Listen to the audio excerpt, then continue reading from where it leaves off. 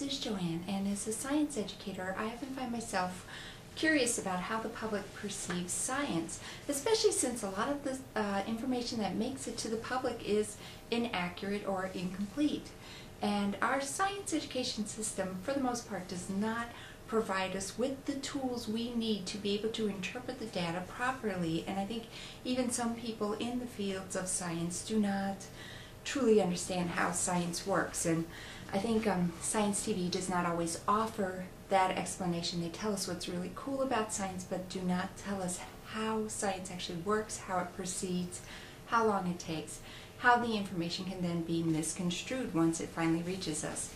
Luckily, I've run across two wonderful books that uh, you could read both or either of them, and you would have the tools you need to understand scientific claims that are being made, either in all honesty and sincerity, or those that are made being made sort of nefariously, so perhaps you would buy their product. So um, the first book I'm going to recommend is this one called Bad Science by Dr. Ben Goldacre. This book is from the UK. I had to have it imported, um, but there is a version coming out in the United States, I hope soon, um, because it's definitely very worthwhile.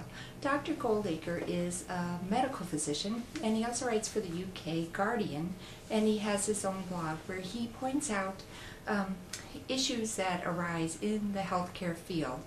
And this book goes a step beyond the mere debunking genre, where he describes the not only what's wrong with particular scientific stories, but he gives you the tools and tells you this is why it's wrong, and these are the tools, if you apply these tools, you will not be fooled again should something like this come up.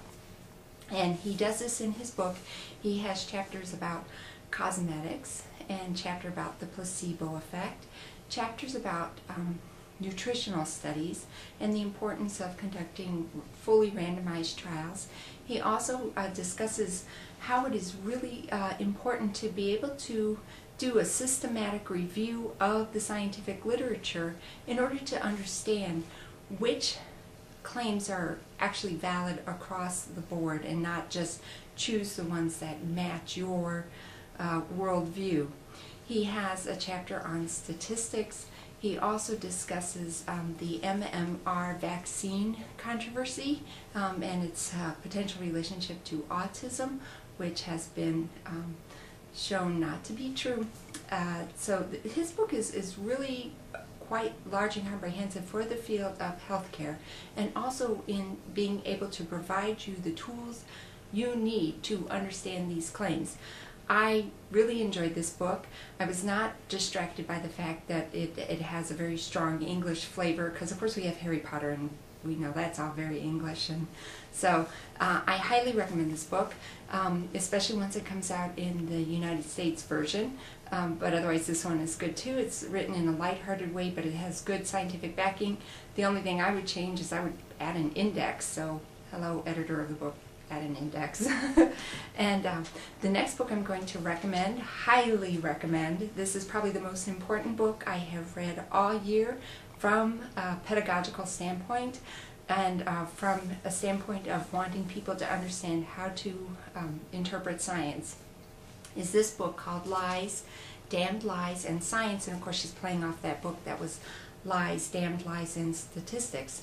And this is written by Dr. Sherry Seethaler, and she has a PhD in education, and she helps scientists present their information to the public.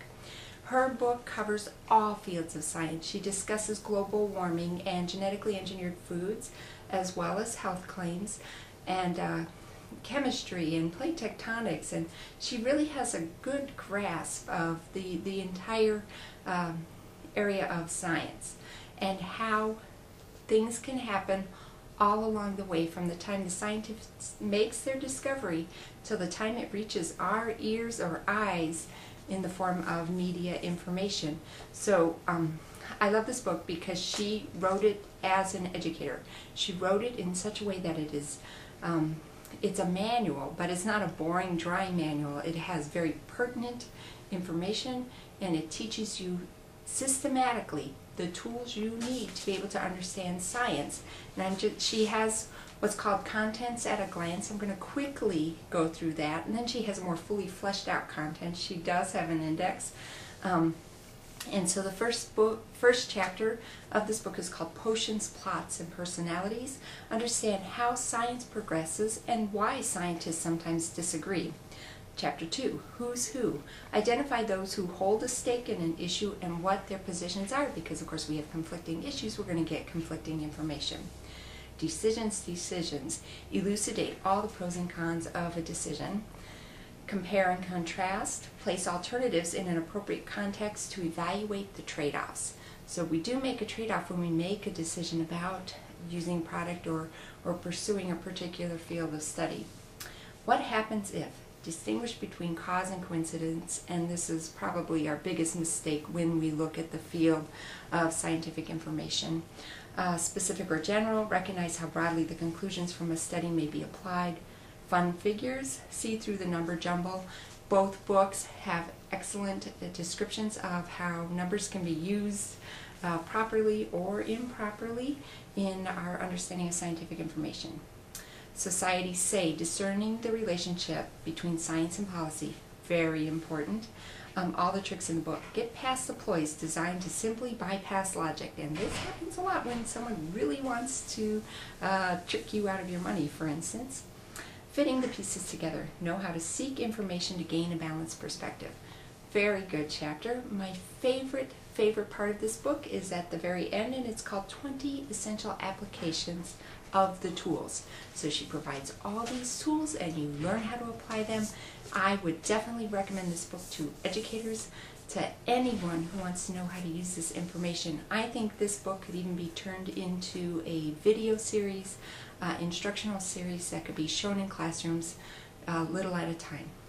I want to thank you for holding out this long and for listening to me talk about Bad Science by Dr. Ben Goldacre, which will be coming out in the U.S., and this book, Lies, Damn Lies in Science by Sherry Seethaler. both books incredibly important in helping you understand how to interpret science as it is currently done and presented to um, us as a public. Thank you so much.